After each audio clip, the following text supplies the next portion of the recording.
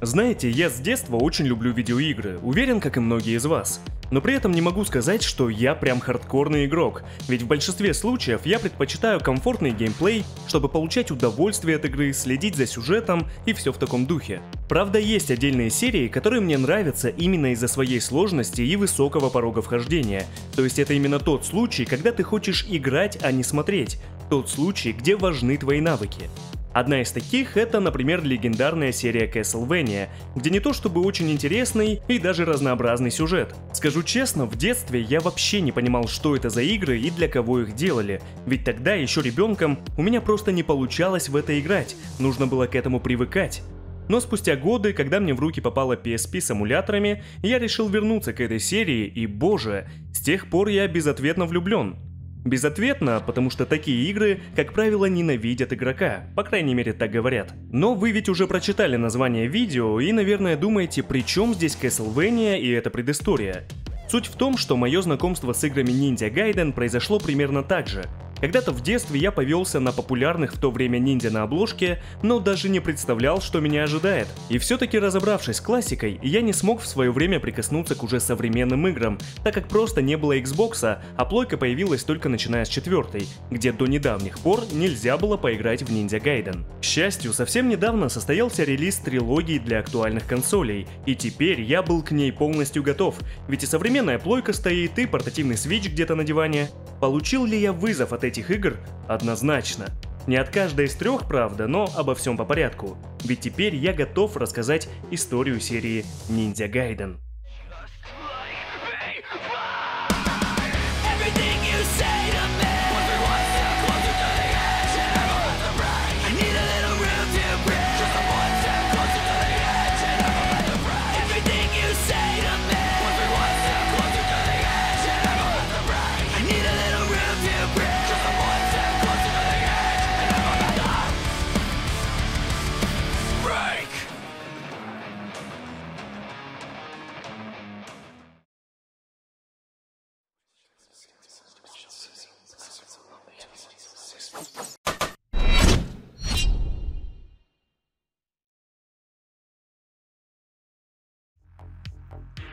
Все началось в далеком 1988 году, когда на экранах впервые показали такие фильмы, как «Битлджус», «Человек дождя» и «Рэмбо 3».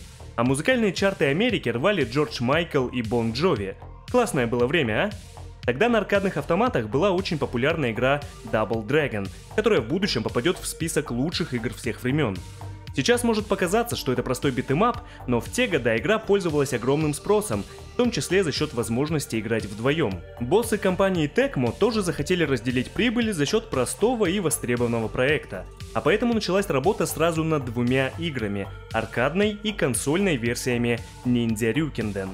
Разработкой обеих игр руководил геймдизайнер Хидео Йосидзава, и его необычным решением стало то, что домашняя версия не будет портом аркадной. То есть две игры имеют одинаковые названия и имена главных героев, но фактически сходство на этом заканчивается, ведь если аркадная версия, напомню, задумывалась как beat 'em up, конкурент Double Dragon, то домашняя экшен-платформер, который наоборот, по задумке руководителя, должен был отличаться от конкурента. Таким образом, мы имеем две совершенно разные игры.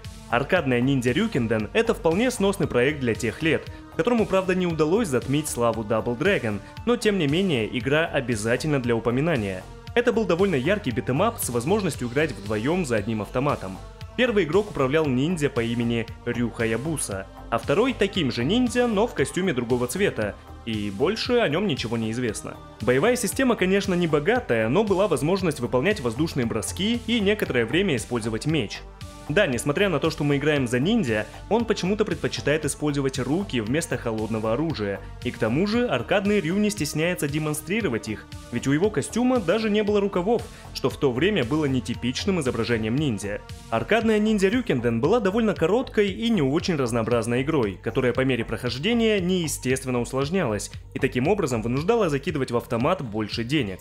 Да и к тому же экран с обратным отчетом заставлял нервничать, ведь если игру не продолжить, то бедняга Рю превратится в месиво. В будущем аркадную версию портировали на другие платформы, хотя особой популярности она не обрела и осталась лишь главой в истории серии. Но, к счастью, нам знакома и другая Ниндзя Рюкенден.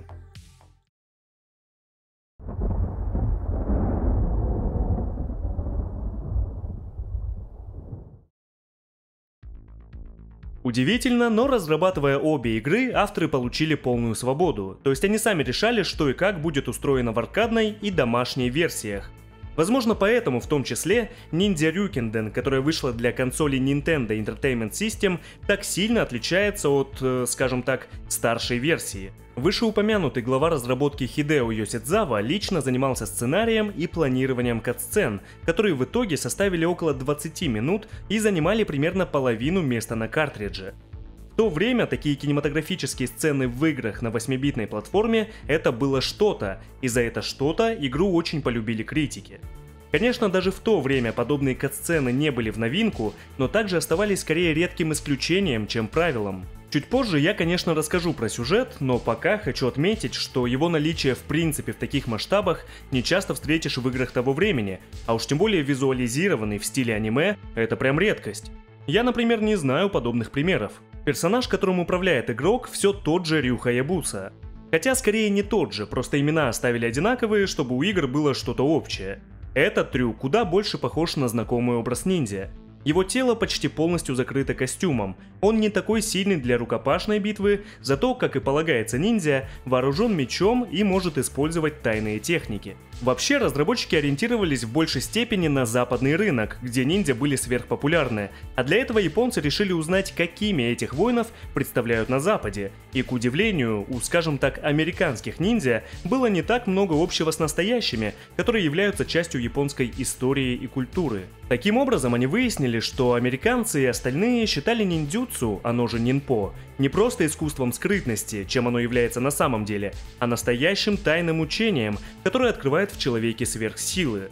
Японцы посчитали, что раз там, за морем, хотят магию, значит будет им магия. Так Рю обрел специальные техники, с помощью которых он мог метать огонь, окружать себя им для защиты и все в таком духе. Эти способности встречались прямо на уровнях, и если собрать какую-то, то она заменит предыдущую, уже имеющуюся. При использовании, проще говоря, магии расходовалась отдельная шкала энергии. Помимо магии, Рю умел цепляться за стены, что вроде как полезная и местами необходимая способность, но нередко она играла злую шутку с игроками. Сама ниндзя Рюкенден разделена на 6 актов, каждый из которых делится еще на несколько уровней, которых в сумме 20. Здесь, наверное, пора сказать, что вся классическая трилогия известна в Японии именно как ниндзя Рюкенден, но авторы, повторюсь, ориентировались и на западный рынок, поэтому боялись, что такое название будет трудно выговорить. В итоге ребята сошлись на том, что в Америку игра поедет под названием Ninja Gaiden.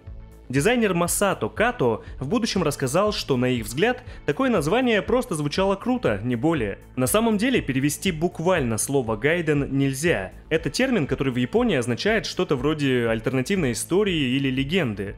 То есть представьте, если бы у какой-то игры был спин например, и вот ему было бы уместно приписать слово «гайден». Но в данном случае это первая игра серии, поэтому «гайден» да, просто звучит круто. Итоговое название можно перевести как, допустим, «Легенда о ниндзя». В то же время Европа пыталась бороться с повальным фанатизмом подростков от ниндзя, поэтому все, что касалось древних японских убийц, довольно жестко цензурилось. Самый яркий и популярный пример – это черепашки-мутанты-ниндзя, которые там превратились в черепашек-мутантов-героев. Ну, хоть подростками остались в обоих случаях. Через костыли и разные версии, но в итоге в Европу игра попала как Shadow Warriors, то есть Теневые войны. Знаете, обычно, когда дело касается сюжета в играх 80-х, трудно сказать, что он интересный, захватывающий и существует не только номинально, но Ninja Gaiden это не касается. Точнее, здесь не то чтобы гениальная история, но по меркам того времени, учитывая мощности консоли и прочее, она более чем удовлетворительная. История начинается со сцены, в которой нам показывают дуэль двух ниндзя, по итогу которой один из них оказывается убит. Его зовут Кен Хаябуса, он отец главного героя. После смерти Кена Рю получает его предсмертную записку, в которой отец просит сына отправиться в Америку, чтобы найти археолога по имени Уолтер Смит. На пути в Штаты юного ниндзя похищают неизвестные ему люди, но ему помогает выбраться таинственная девушка, чьи мотивы пока непонятны, ведь она сама ранее лишила Рю сознания выстрелом из газового пистолета. Но сразу после она начинает ему помогать и вручает загадочную статуэтку. Рю добирается до археолога, о котором писал отец, и выясняет, что много лет назад Кен и Уолтер обнаружили две статуэтки в Амазонии в руинах древнего храма. Одна статуэтка символизирует свет, другая, соответственно, тьму.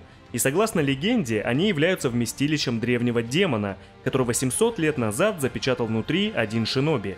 Одна из этих статуэток, та, которая про тьму, уже была у ниндзя, ему ее вручила та самая девушка. Но стоило Рю показать ее Уолтеру, как в комнату врывается неизвестный и похищает статуэтку. Рю вынужден немедленно отправиться в погоню, но по возвращении он обнаруживает, что на Уолтера было совершено еще одно нападение, ведь все это время он хранил вторую статуэтку у себя, а теперь ее похитили. Перед смертью Уолтер предостерегает Рю, что если оба реликта окажутся в плохих руках, то миру будет угрожать опасность. Ну конечно. Сразу после смерти Уолтера к Рю обращаются агенты ЦРУ, и они вынуждают ниндзя следовать за ними. Они интересуются человеком, известным как Жако, который смог проникнуть в тот храм в Амазонии и теперь с помощью двух статуэток планирует пробудить древнего демона, чтобы с его помощью управлять миром. Глава отдела Фостер приказывает Рю отправиться туда же и помешать Жако. Пытаясь выполнить приказ, Рю оказывается вынужден сложить оружие и отдать приспешникам Жако свою статуэтку, так как они взяли в плен ту неизвестную девушку и угрожают расправой над ней, но даже это не останавливает героя. Он выбирается из ловушки и сталкивается с убийцей своего отца, проклятым воином Мальтом, ближайшим соратником Жако. Рю побеждает его и, кажется, совершает месть за отца, но выясняется, что Кен и не умер вовсе. Он был сильно ранен, оказался под контролем злодеев, но тем не менее жив, хотя ненадолго. Рю удается освободить отца, но тут же появляется Жако, который одним сильным ударом пытается убить Рю, но его отец принимает удар на себя. В итоге Рю Хаябуса побеждает Жако, который к тому времени успел воплотить свои планы и превратился в чудовищного демона, и тогда храм начинает рушиться.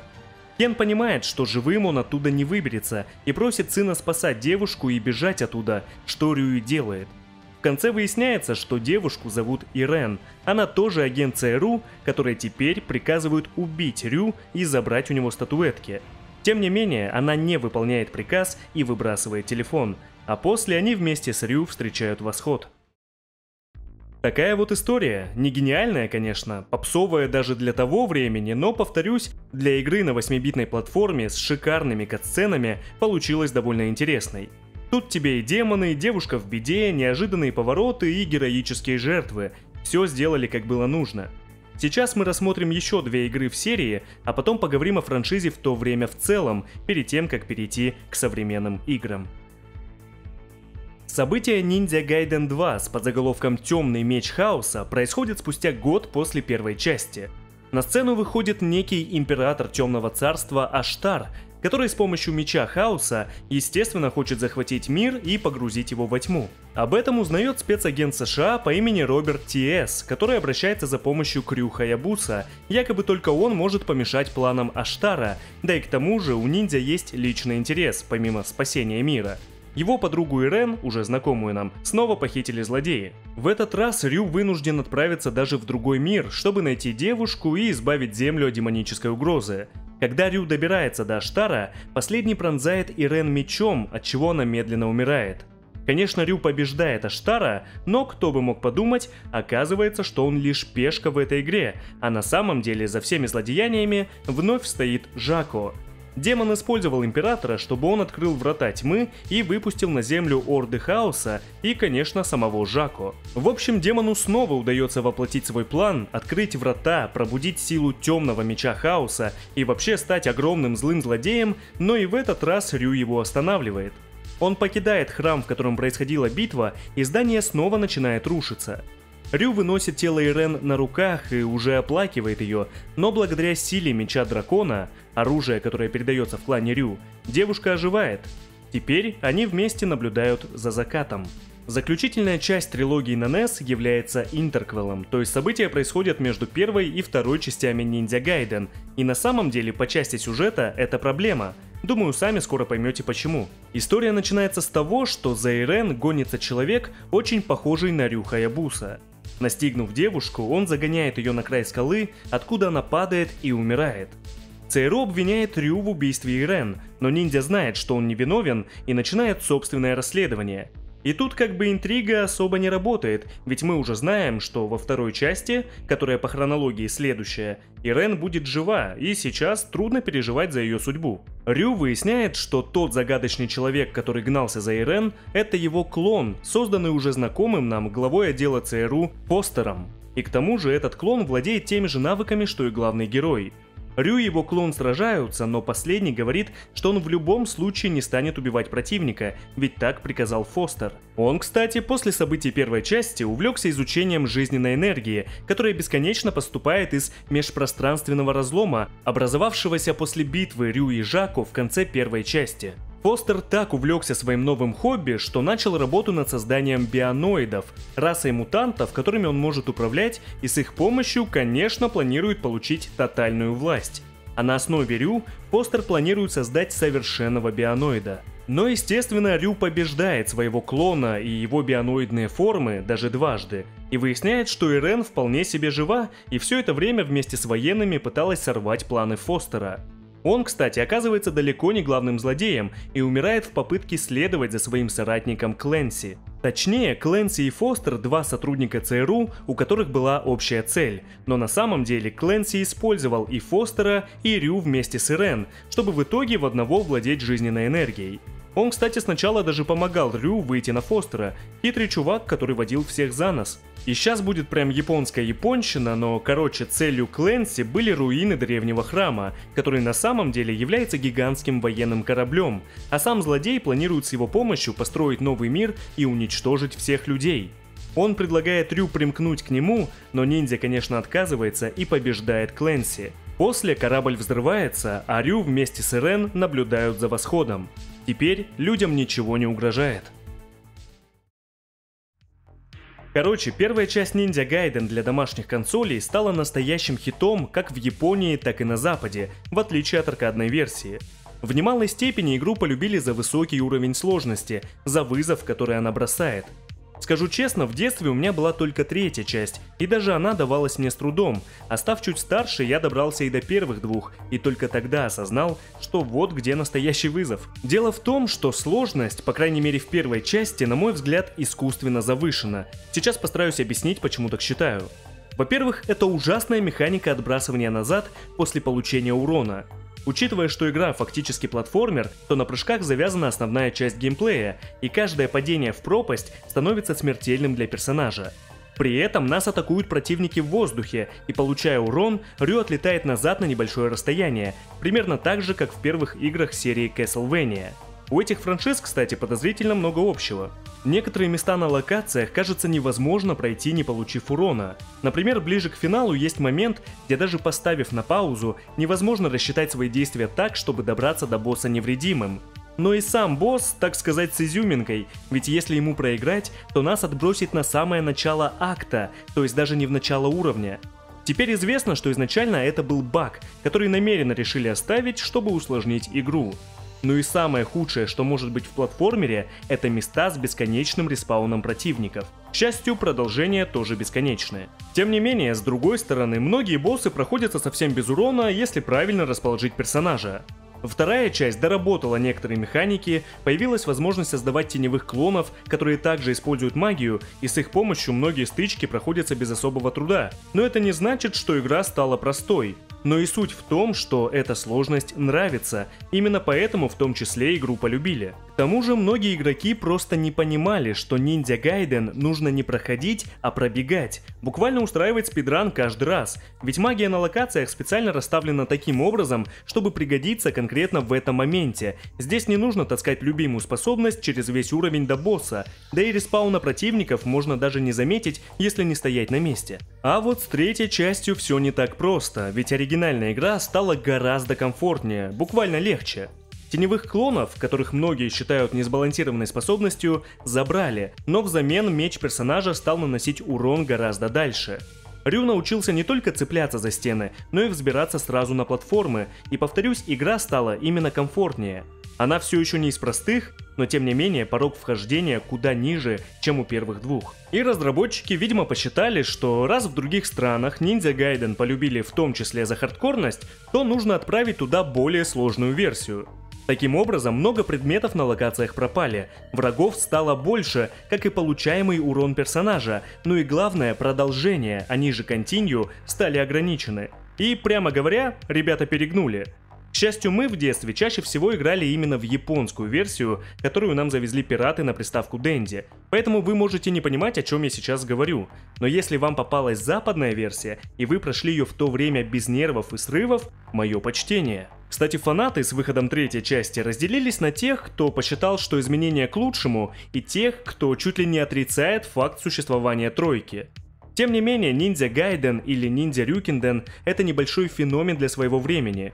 Игра, которая имела в себе все, что необходимо. Она бросала вызов, в ней был приличный на то время сюжет и, главное, ниндзя, с которых так фанатели многие подростки. Поэтому не стоит удивляться ее успеху.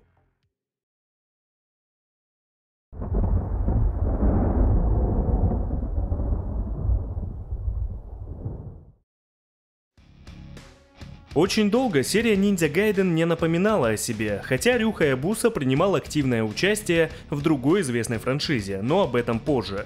Только в 2004 году вышла новая игра в серии, сначала эксклюзивно для Xbox, но после, в немного другом виде, добралась и до консолей PlayStation. Интересно, что авторы позиционируют современную трилогию как приквел к основной серии, но пройдя одну лишь первую часть, можно смело сказать, что эти игры скорее ремейк. Я очень хорошо помню, что когда игра только вышла, про нее рассказывали на телеканале MTV, и я еще ребенком очень расстроился, когда услышал, что поиграть в Ninja Gaiden можно только на консоли, о которой я даже не смел мечтать.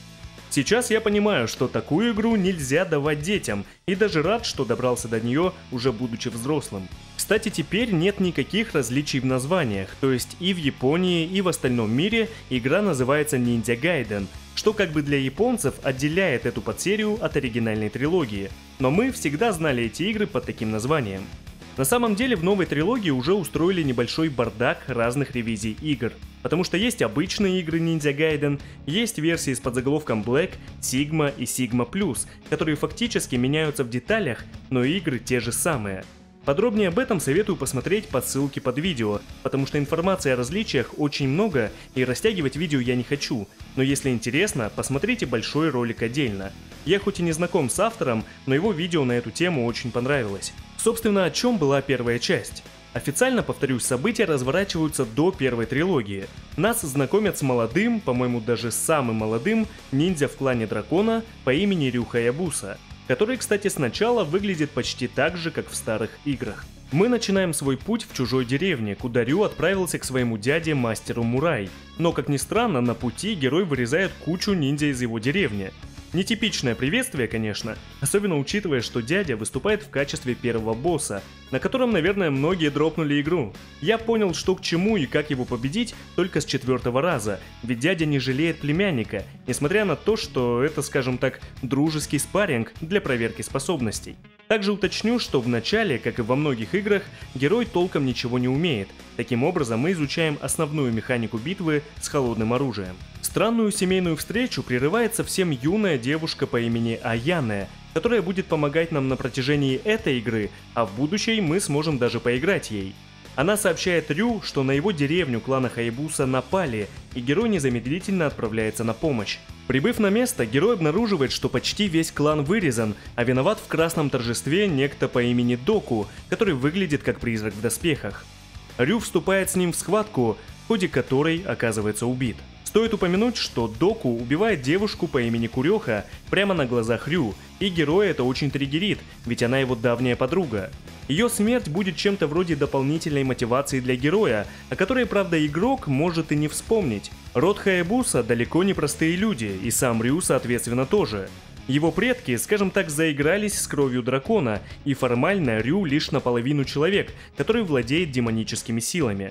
Наверное, это и объясняет его способности использовать магию, точнее нинпо. Почему же Доку напал на деревню Хаябуса?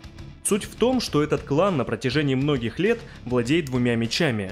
Один — это темный меч дракона, который дарует своему владельцу темные силы, и если он окажется в плохих руках, демоны победят. Второй — это просто меч дракона, который передается в клане из поколения в поколение. Конечно, с его помощью нужно остановить злодеев. После смерти Рю воскрешает дух клана в виде сокола, и это нужно просто принять как факт. Сюжет не особо пытается объяснить, как это работает. При поддержке дяди Мурай Рю отправляется на поиски меча, при этом переодевшись в уже узнаваемый черный костюм, готовится мстить за свой клан. На пути герою придется сразить орды демонов и бойцов спецподразделения Империи Вигор, куда герой отправляется на поиски меча. Это вымышленная, изолированная и военизированная страна. К счастью, Аяне из другого союзного клана будет помогать подсказками и иногда даже хилками, а также герой встретит девушку по имени Рэйчел. Она охотница на демонов, среди которых оказалась ее сестра Альма, и Рэйчел пытается ее убить слэш спасти, но спасать там особо нечего.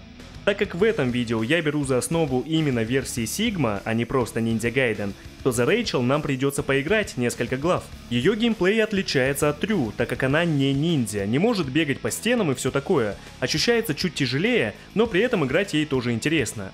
Правда, играя за Рэйчел, вам, возможно, придется бороться не только с демонами, но и с эрекцией, потому что ее черный костюм держится исключительно на вере в чудо. Также героям встретятся два мутных парня, роль которых будет не ясна до конца. Что-то ходят, наблюдают за происходящим, один из них даже нападает на Рэйчел и между делом пафосно разговаривают, но роль свою еще сыграют. По мере прохождения Рю найдет множество оружия, но его количество зависит от версии, хотя это оружие можно и не подбирать.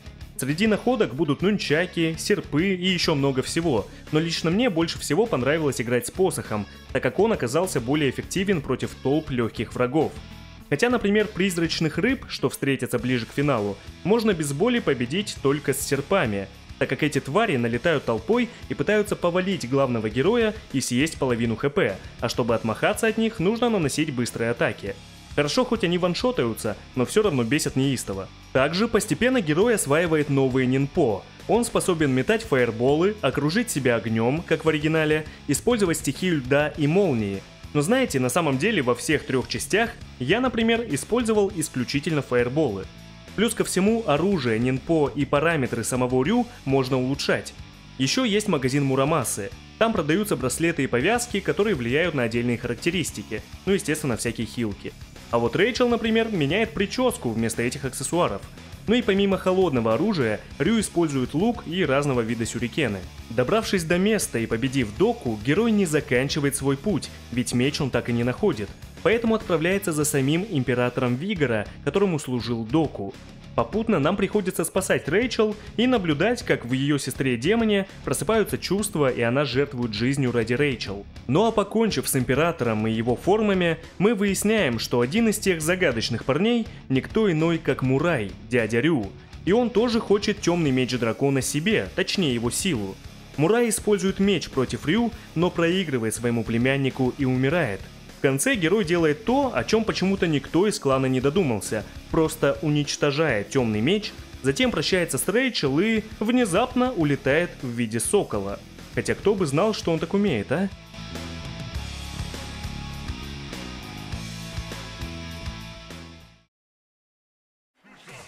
Что же, первая часть Ninja Gaiden это совсем непростая игра, которая даже подшучивает над игроком.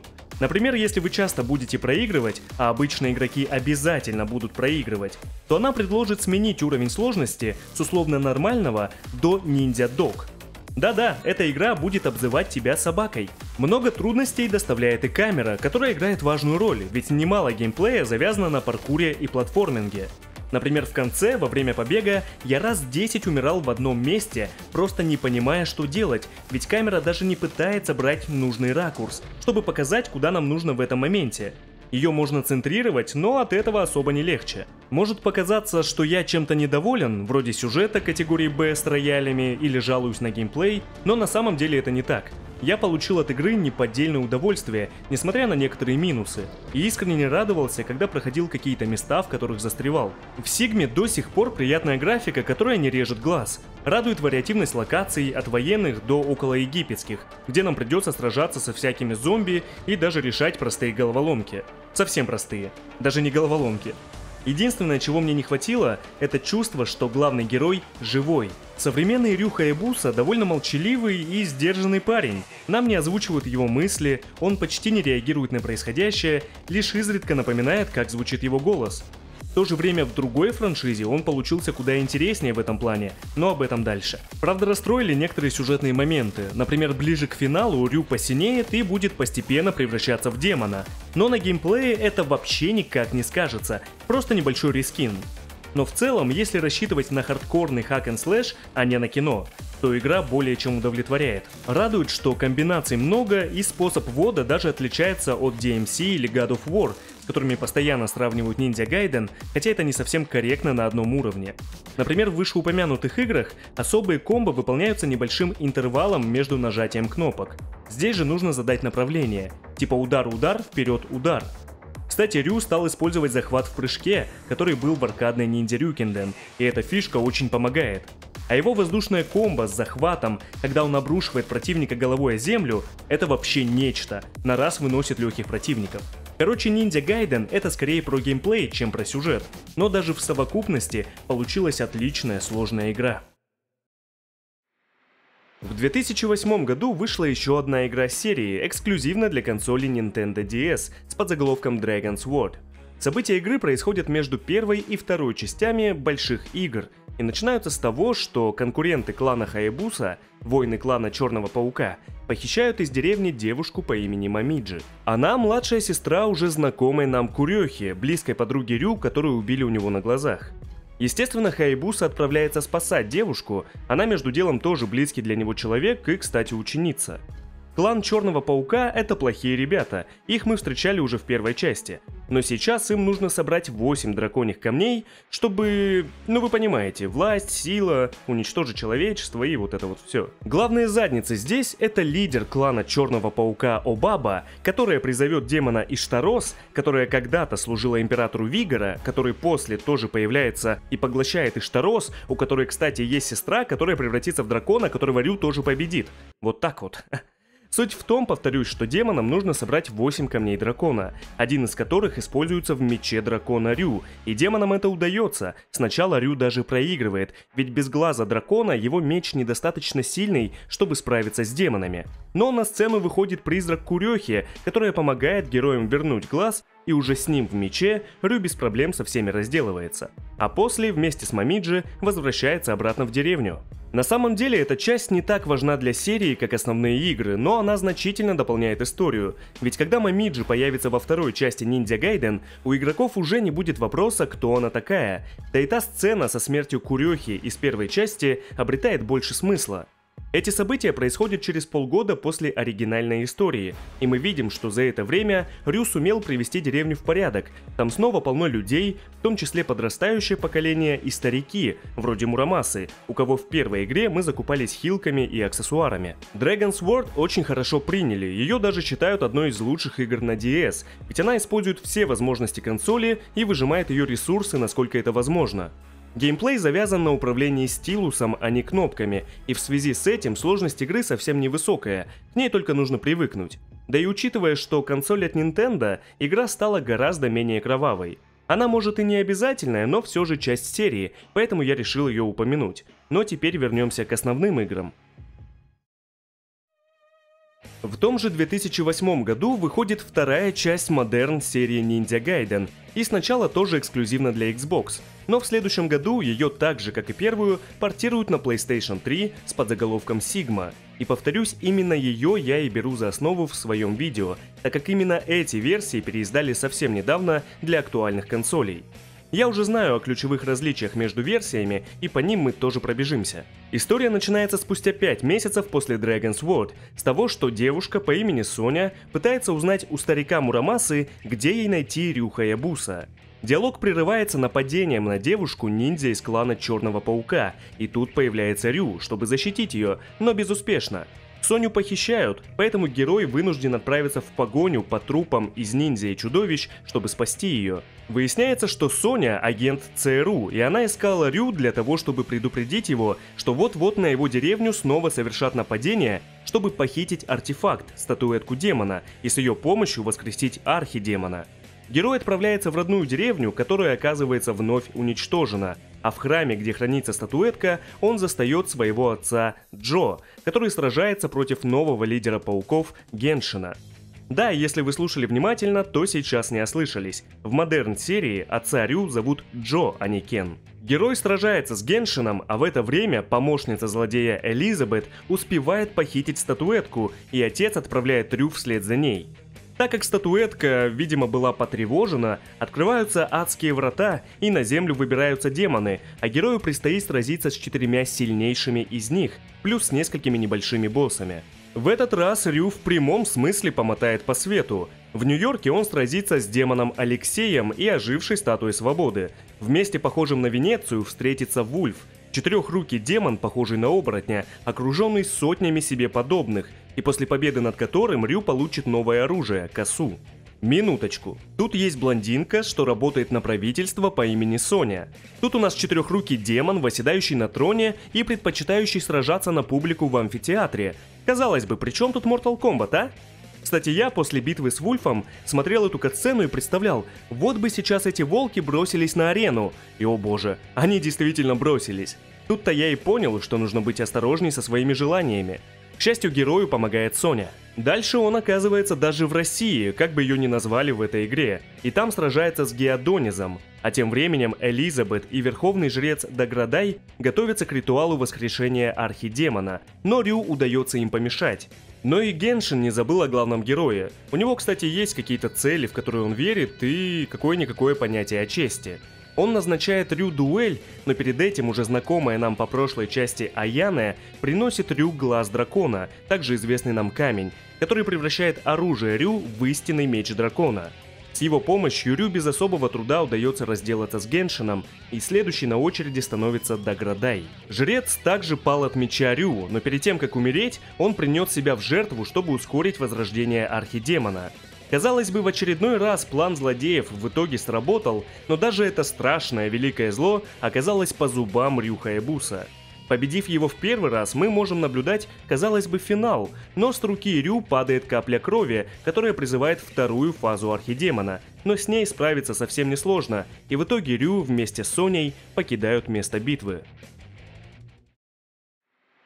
Вам может показаться, что о сюжете почти всех игр я рассказываю достаточно иронично. И это действительно так, ведь истории в Ниндзя Гайден, откровенно говоря, это трэш про ниндзя и демонов, где совсем немного логики, но зато все подается на таких серьезных щах, и при убийственном количестве геройского и злодейского пафоса, что иногда смотришь на катсцену и невольно улыбаешься это все-таки в первую очередь про геймплей, а не про сюжет. Когда я впервые запустил Ninja Gaiden Sigma 2, то сначала был приятно удивлен динамикой происходящего, увеличенным масштабом локаций, улучшенной графикой, конечно, но когда я заметил, что в игре нет крови, а вместо нее какие-то вспышки из отрезанных конечностей, то не оценил шутку. Действительно, оригинальная вторая часть оставалась довольно жестокой игрой в этом плане, но к моменту портирования и превращения игры в Сигму, студию разработчиков Team Ninja покинул Таманобу Итагаки, геймдизайнер и автор серии Dead or Alive, а также современной диалогии Ninja Gaiden.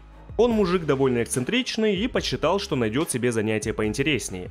А вот новый руководитель посчитал, что Ниндзя Гайден любят не за жестокость, поэтому в ней нет необходимости и кровь заменили на мишуру. Верно, эти игры любят за геймплей, конечно, но это не значит, что остальное совсем не имеет значения. К сожалению, не все это понимают, ну да ладно. В отличие от оригинала, в Сигме появилось новое оружие – тяжелый меч, с которым я прошел пол игры, а также количество врагов уменьшилось, но урона они стали наносить больше и сами оказались живучие.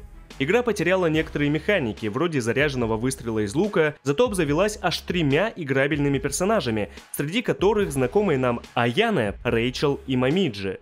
За каждую из девушек мы поиграем всего по одной главе, и как по мне, этого мало – только привыкаешь к ее геймплею, так снова пора возвращаться к Рю. Причем глава за Аяне какая-то ультрасложная, именно сам путь до босса, который в итоге сливается за минуту.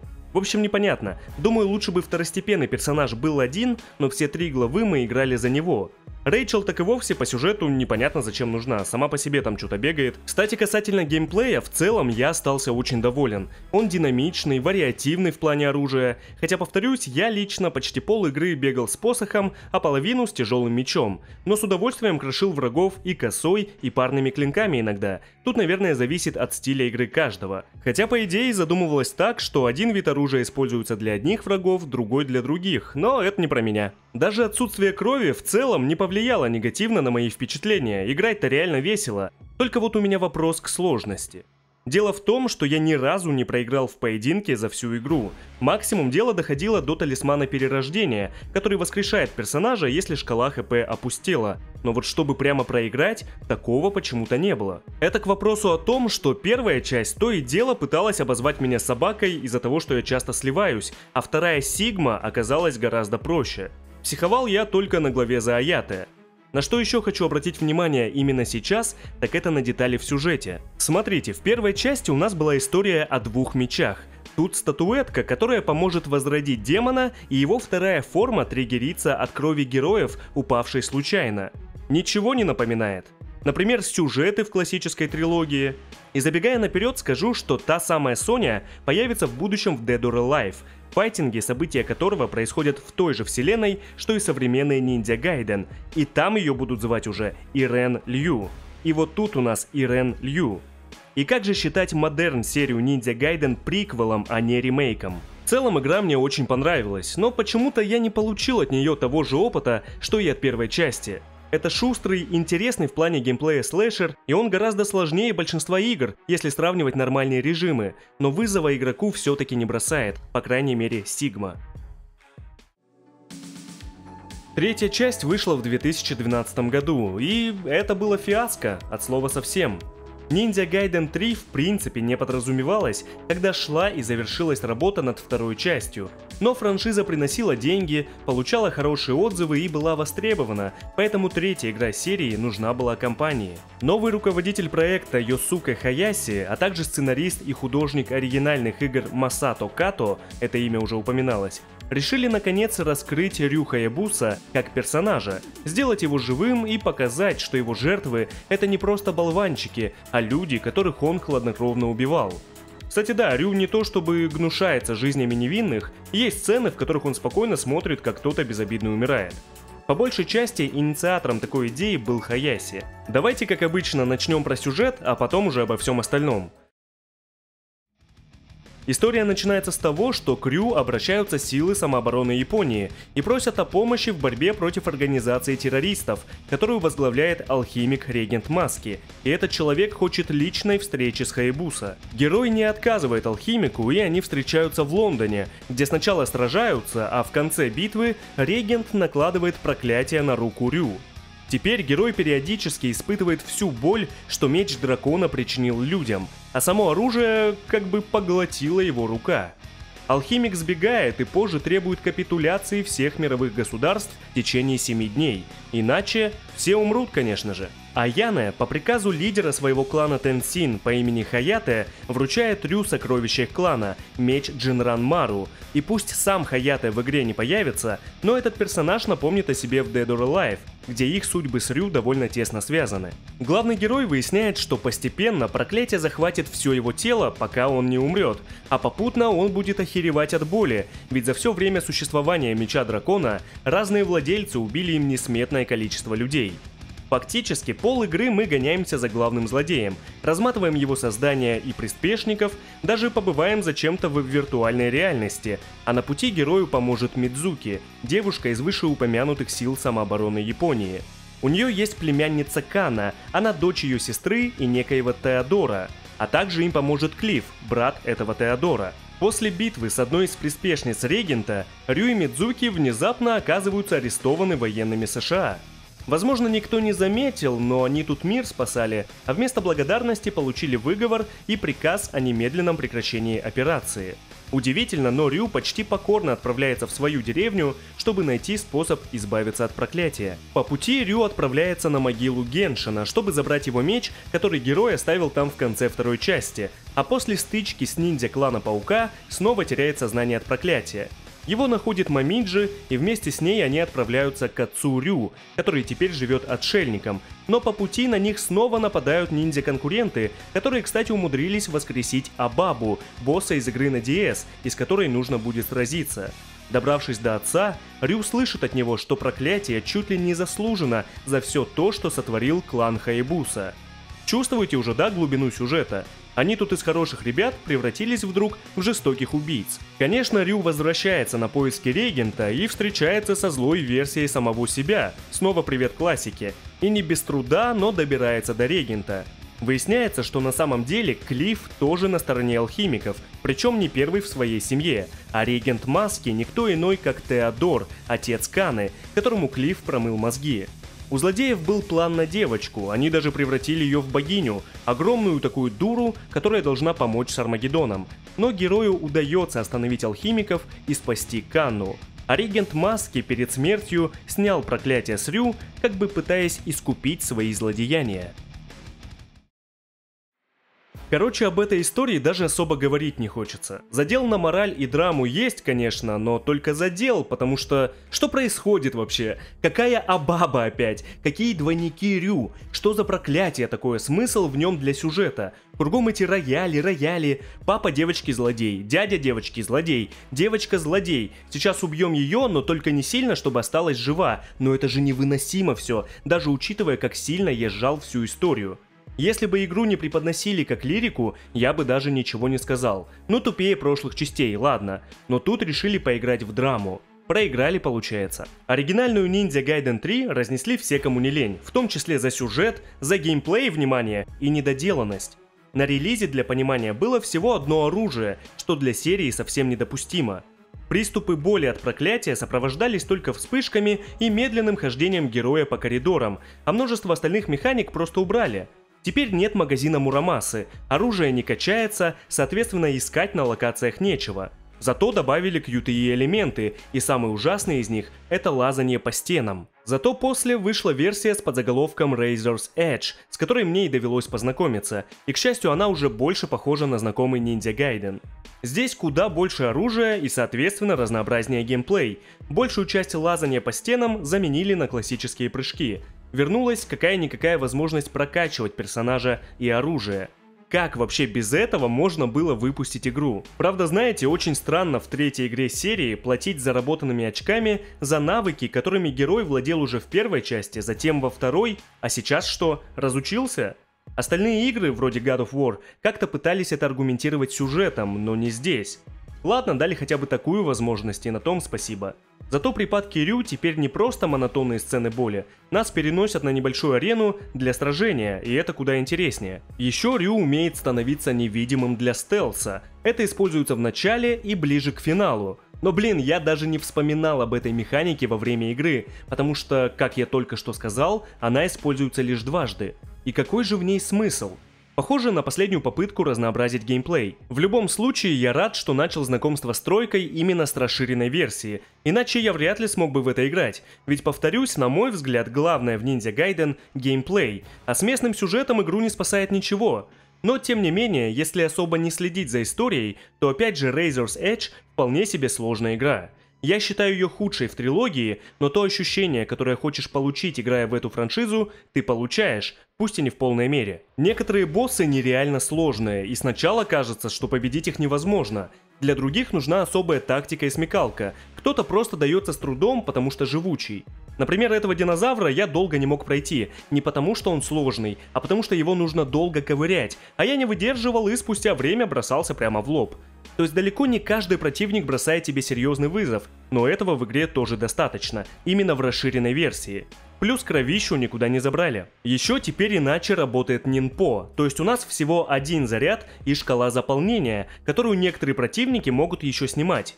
Хилок в игре нет, кроме чекпоинтов, но при использовании магии и вне боя Рю лечится. Правда, после ранений шкала жизни становится меньше, вплоть до следующего чекпоинта. По итогу, знаете, я с удовольствием и болью пройду еще не раз первые две части, но к тройке вряд ли когда-нибудь вернусь. Эта игра сплошные полумеры, и там, где не надо, она предлагает новое, а где нужно было хотя бы оставить как было, то и это переворачивает.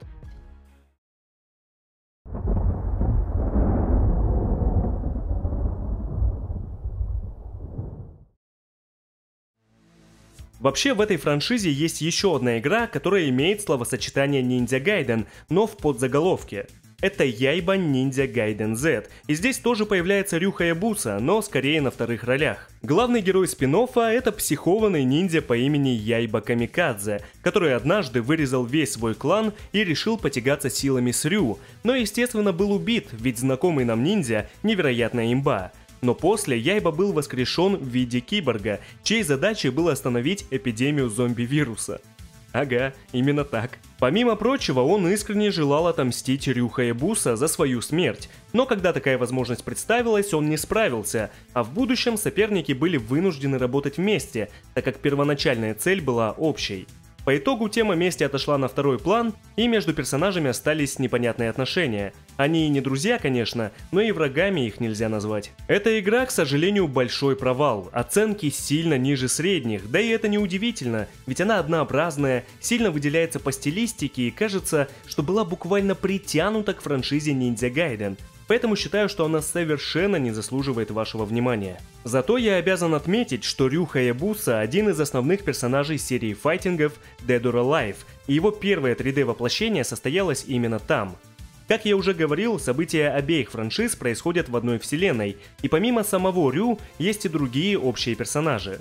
Точнее, большинство из тех, кто встречался в Ниндзя Гайден, Аяне, Мамиджи, Рэйчел, Соня, которая стала Ирен, все эти девушки либо пришли из Dead or Alive в Ninja Gaiden, либо наоборот. В легенде о ниндзя мы никогда не могли поиграть в сюжете за девушку по имени Касуми, хотя она встречается в некоторых катсценах и отдельных режимах.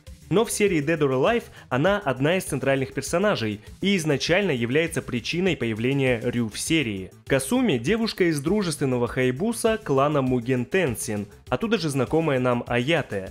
Касуми отправляется на турнир, чтобы отомстить своему дяде за то, что он искалечил в битве ее брата Хаяте. Из-за того, что она покинула деревню без разрешения, ее объявили шиноби в бегах, из-за чего ее стал преследовать собственный клан. Рю с детства был другом Хаяте и обещал защищать его младшую сестру, поэтому он отправился на турнир вслед за ней. Там, конечно, очень запутанная история с потерями памяти, которая уже просто не поместится в это видео, иначе оно будет длиться еще полтора часа, но так или иначе Рю принимает активное участие на стороне Касуми, ее брата Хаяте и других хороших ребят.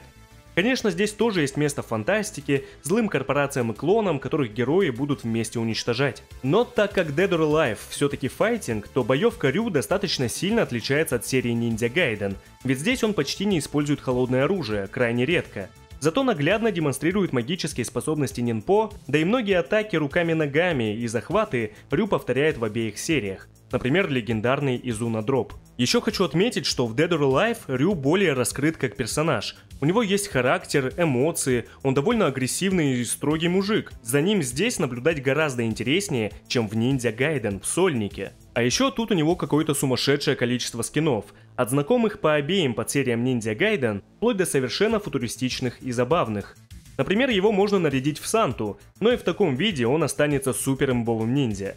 Думаю, однажды я доберусь до серии файтингов Dead or Alive и уже тогда расскажу о роли Рюха и Буса подробнее.